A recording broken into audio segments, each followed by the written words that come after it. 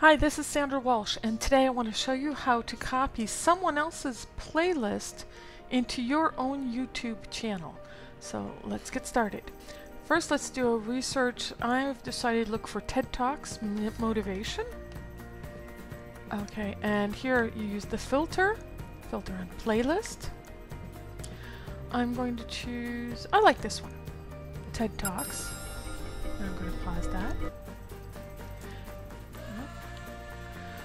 And what I need to do is to come up here, up, and copy the URL. So I copy the URL of this playlist. Okay, next I go to this page, and I'll give you the URL of that. Type, uh, you, you just copy and paste. I'm going to do private copy, and now we just wait until it's done.